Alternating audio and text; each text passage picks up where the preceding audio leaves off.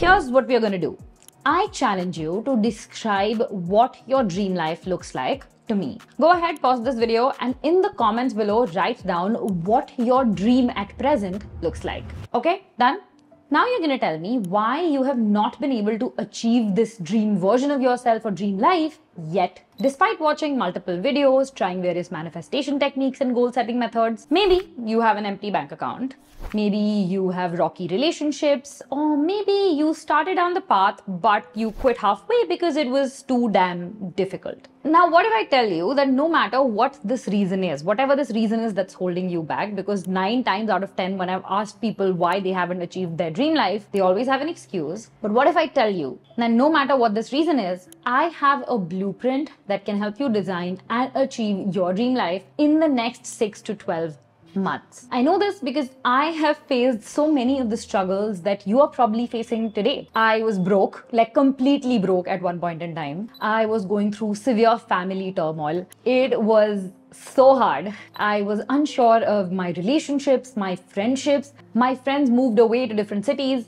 And of course, I was also struggling with my mental health. But today, my life is the complete opposite of what it was three to four years ago. I have a career that I love. I have my own space. I have control over my time. I have an awesome online community. And I have people in my life who love me for who I am. And I'm not saying all of this to brag. I am very, very grateful for how life has turned out. But most of it was not just sheer dumb luck. It was actually by design. And you actually need very few things to get from point A to point B to actually design your dream life and live out your dream life. And those are the eight points that we're discussing in this video today.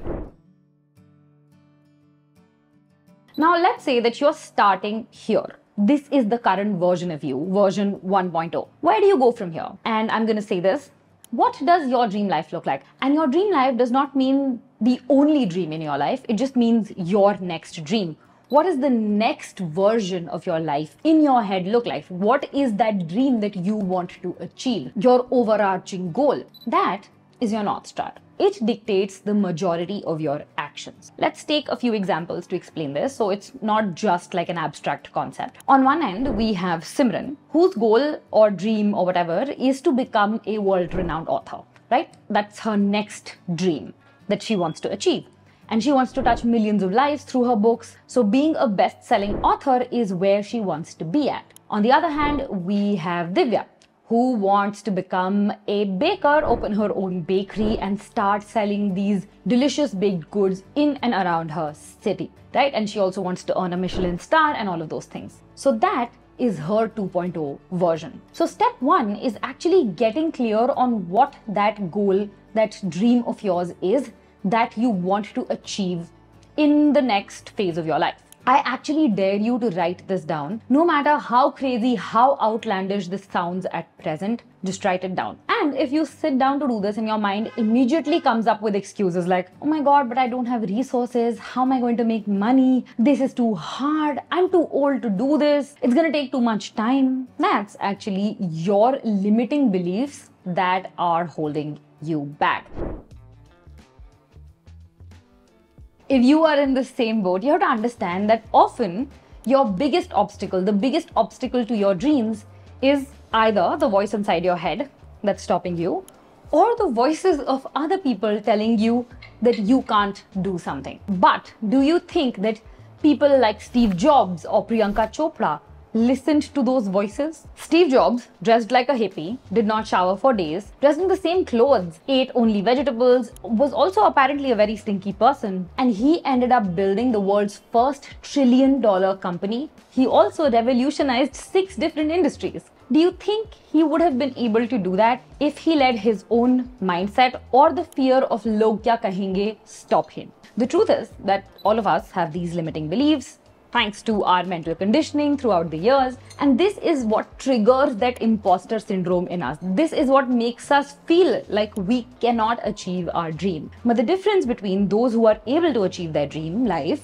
and those who are not is that the former group knows how to tackle these self limiting beliefs. Right? Remember that people who are crazy enough to think that they can change the world are the ones who actually do. Now, one way to actually tackle your self limiting beliefs is to create a set of counter statements to address each of these limiting beliefs that you have. So, for example, when Simran sets down to write her book, her self limiting belief tells us that she's not a good writer. So, a counter statement to this could be something like if influencers can write books and become bestsellers, well, so can I. Or if this girl Ria feels like there's too much nepotism in the fashion industry and she can't become a fashion designer, a counter statement for her can be like, well, if Nancy Tyagi can do all of that without any resources, why can't I? I feel like having real world examples, real world people to base your experience off of can really help counter those negative thoughts for you. And trust me, you are going to find an example if you look for it. Someone before you has done it and it's okay to map your journey and plan by following in their footsteps without reinventing the wheel. But now, despite doing that, your mind can be a bitch. It can come up with a thousand excuses to not do something, despite the fact that it is your dream that you want to work towards. And the reason for this is often a lack of subconscious alignment, which means that even though you are consciously working towards something, your mental conditioning and your deep rooted behaviors are not aligned with that thing yet. Like Simran here, who has started working on the first draft of her book. But she tends to lose focus every day, run into a writer's block. She watches all kinds of motivational talks, podcasts, reads self help books, but nothing seems to work. On the other hand, she has Divya, who is working to become a well known baker. But when asked about her progress, she has already signed the lease of her shop. It's in the process of opening. She already has the recipes and the menu down. Now, what's interesting is that both of them started on the same day for their own dream. But Divya is almost halfway towards achieving that dream. But Simran, on the other hand, is just stuck in the beginning. Now, how did that happen? It happened because Divya aligned her subconscious towards achieving her goal, while Simran was just chasing motivation externally. Now, how can you be more like Divya? The answer is by reprogramming your subconscious. And don't worry, there are a few simple ways to do this. The first is to simply declare and go public with this dream that you have. Telling the world about your dream is a powerful, powerful step. You are actually making a promise to your mind, to others by announcing. And that basically signals to your subconscious to act on it to get aligned with that concept, right? And this happens so frequently with me. Whenever I do something that's just in my head, my chances of doing it are less. But as soon as I announce it on my Instagram, for example, or as soon as I make a promise to somebody else that this is what I'm gonna do, I am 10x more likely to do that thing. Divya has done exactly this. She announced on her Instagram that she's opening a bakery and she told her friends and family about it. There was some backlash, but there was also support. And the backlash actually fueled her motivation further. Another thing you can do is something called verb to statement. Now, dreams are extremely powerful, but oftentimes they can also feel very vague, right? So, if I go ahead and say something like, I want to be an author, Simran says, I want to be an author, and Divya says, I want to be a baker.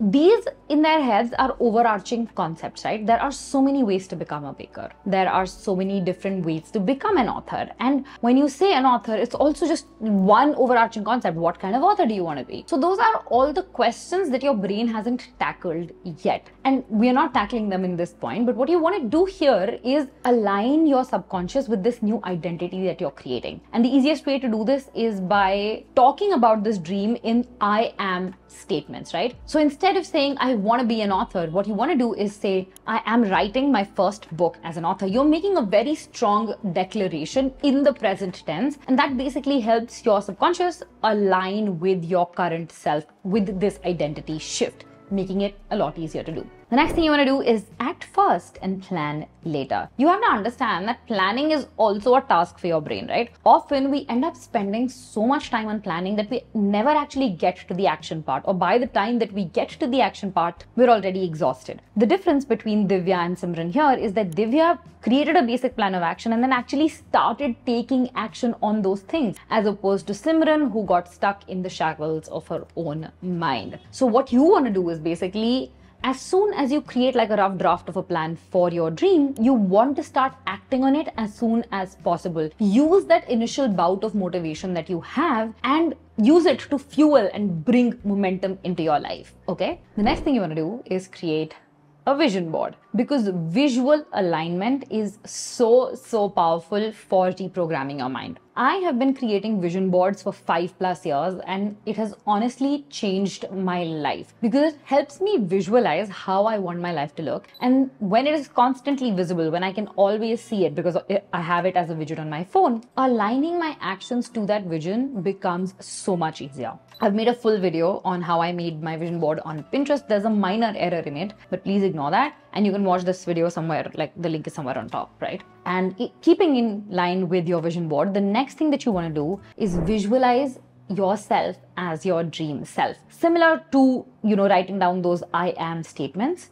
This is a technique where your mind holds absolute control. And if you know how to leverage visualizing correctly, you can actually turn your life around completely. Countless celebrities, founders, speakers swear by it. How I personally do it is I sit every morning uh, before you know I drink my coffee or while I'm drinking my coffee, and I just imagine myself living as this version of me that I want to live as. Uh, I imagine what her day is like, you know, what she's doing, what she's working on, how her time is spent, all of those things. And for me now, it takes about five minutes to do this. It can take a little bit longer for you if you're just starting out, but it's super, super effective. Everything that I have today is something that I visualized at one point in time. And if you're just starting out and you don't know how to do this by yourself, I am linking a few guided visualization meditations down below that you can try out.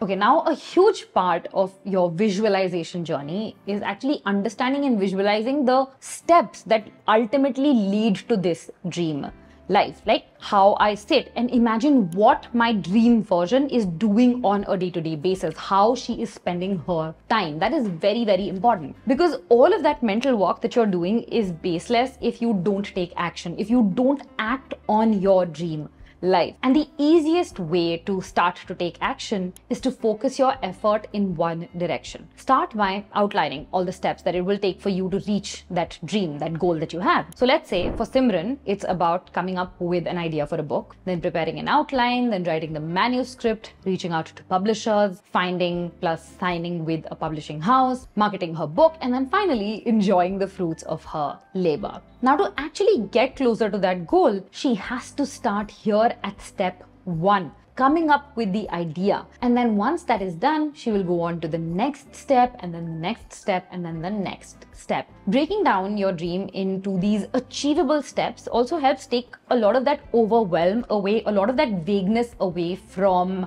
uh, this dream, that overarching dream that you have. And it helps your mind believe that it's actually achievable. Whatever you're doing next is actually achievable. This is exactly what happened with my YouTube journey, right? So back when I wanted to do YouTube first in college, it seemed like this impossible task. But last year, when I actually started doing it, when I started to see results, my only goal was not to become a YouTuber, but to just push out one video every single week. Just to hit that publish button every single week. And that step one itself led me to this place that I am today. Now, I would be lying if I said that this journey that I've taken from step one to coming here to becoming this person who considers herself a YouTuber was just like a straight line. I started publishing every single day and bam, I hit like 250k subscribers. Journeys are never linear, it's never a straight road. And when you start on this journey of your dream life, you will have so many distractions along the way. Life happens, and before you know it, you become derailed from the path. For example, Simran, when she wants to become an author, also wants to be a Pilates girly. She wants to be fit. She wants to have a big circle of friends. She wants to party every weekend. And at the same time, she also wants to have a freelance gig that helps her make money while she's working on her book so that she can support herself financially, right?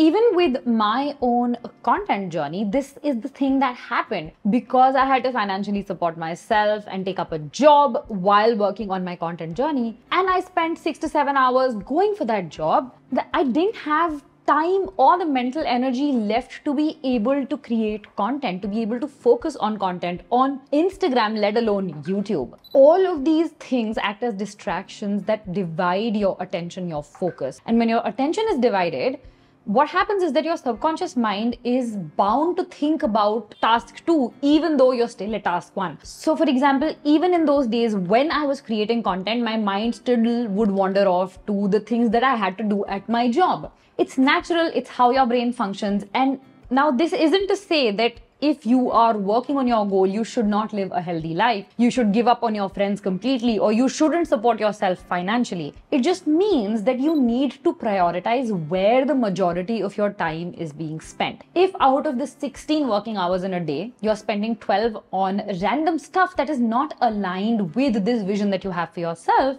you're not really focusing on your dream then, are you? I personally tackled this by quitting my job, taking up freelancing gigs that took up less time. It also meant less money for the time being. But it allowed me to focus a major chunk of my time on doing this, what I'm currently doing. And then over a period of time, it led to a place where I was able to become financially stable. Now, let's say that you decide to do something similar, right? You decide to embrace your dream. You decide to start working on your dream and you decide that these are the XYZ actions that I have to take. You have a set of steps, you're committed, you're focused, and then you are doing it. Maybe you quit your job to pursue your dream, and then suddenly life gets in the way. So, Simran, for example, decided to spend the next year of her life focusing on writing the first draft of her manuscript. But along the way, she found the person that she wants to spend the rest of her life. Relationships are beautiful. That can be a very good thing for her career as well. She got into this relationship it was one of the healthiest relationships of her life. And now, besides writing her book, there is an additional focus in her life. Even though it's not taking up the majority of her time, it's still a point of focus that does take up mental energy. And so, it's obviously taking her longer to write that manuscript. Now, something like this, something which is good in your life that happens and that makes you derail from your path a little bit can be thought of as a detour. Sometimes when life happens, it presents us with alternative paths, right? These paths are not always bad. So, for example, when Google Map reroutes sometimes, it is helping us reach our destination faster. So, for instance, maybe falling in love made Simran realize that she can write amazing love stories and then talk about the concept of love from a young woman's perspective. And there is a huge market for that. So that becomes a part of her author dream. I personally have had so many detours, right? So one way for me to look at this job angle, all of this was that I didn't have time. But another thing that happened because of me doing all of these different jobs was that they helped me learn all of the skills that have helped me grow this channel faster than if I would have started like five years ago. Divya, on the other hand, is faced with the death of her grandfather who she was very close to. Now, despite her business doing very well initially, she finds herself unable to work and focus on her dream. She just does not have the mental energy, the mental bandwidth. And this is what you would call a setback something in life that happens that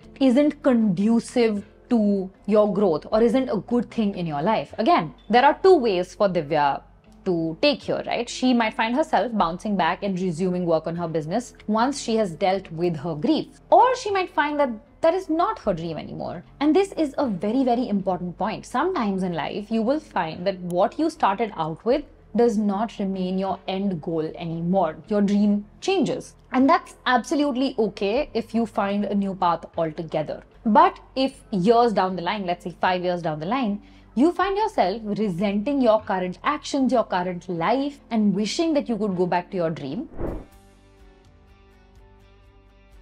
you need to recommit to your original plan. Success is as much about commitment as it is about recommitment. You remember my YouTube detour journey. I first wanted to become a YouTuber when I was in college. This is 2010, 2011. So that's how many years ago? That's like 12, 13 years ago, right? But everybody said that it was a BS dream, it's not a real career, you can't really make money. And so I kind of gave up on it, honestly, and I started working and I thought, you know, I'll make something of this, this will lead me to a new path. But that desire of creating videos, of making content, never really went away. And then in lockdown, I saw so many of these creators talking about the topics that I wanted to talk about, and that kind of sparked something in me. It just reminded me of this dream that I used to have, and I decided to give it another shot. And I started with Instagram.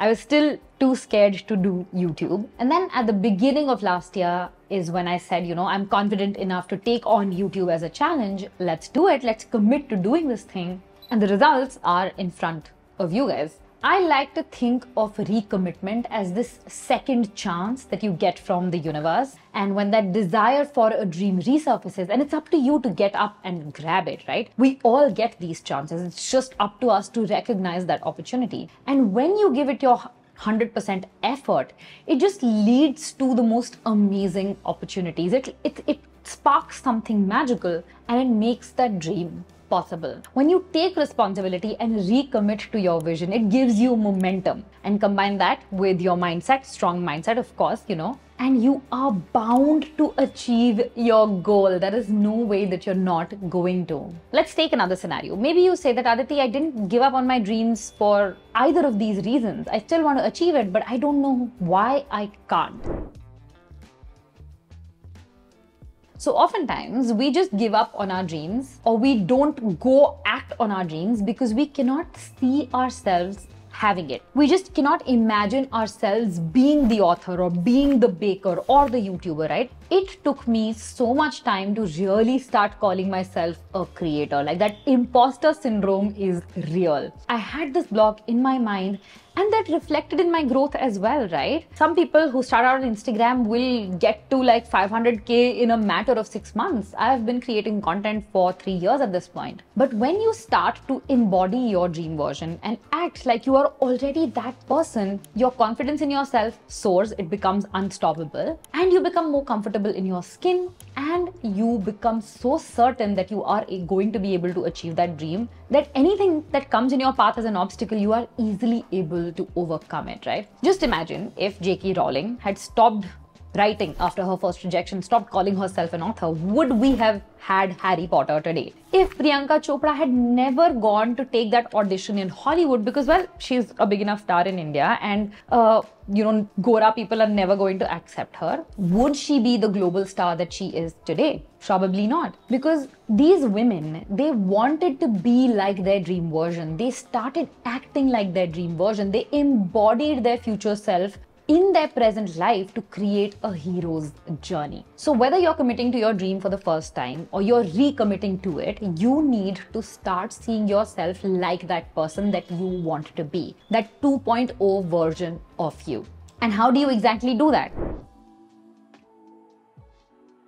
You do that by celebrating every milestone you achieve on this journey to become this 2.0 version of you, right? So let's say Simran did it. She ended up writing the manuscript for her book. That's worth celebrating. She maybe spent six months, a year writing that manuscript, putting all of her thoughts on paper and creating this reality. Now she's thinking, what's the next step? Well, we have already outlined the next step. But the immediate next step is to celebrate this goal, achieving this goal that she has achieved, this milestone on her journey to become her best When I actually started with my journey of creating this version of my dream life that I currently have, I read all kinds of self help books, right? And one thing that really stood out was atomic habits and this concept that uh, James Clear mentions in it, which is cue craving response reward system. And this formula also basically tells you that when you celebrate your achievement of your routine, of your goal, and when you do it again and again, it not only keeps you motivated, but it also sends a signal to your subconscious mind that you made it and that you can achieve the next step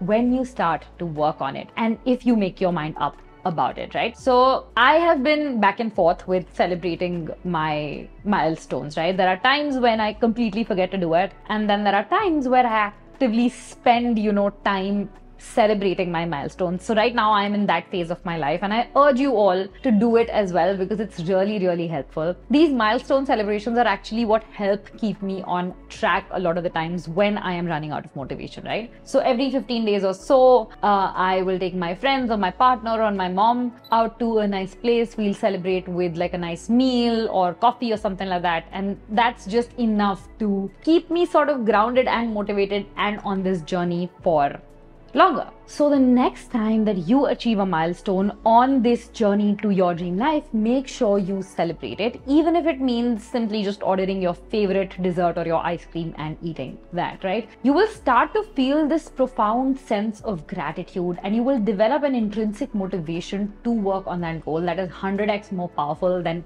any motivational, any self help book, any video out there, including this one.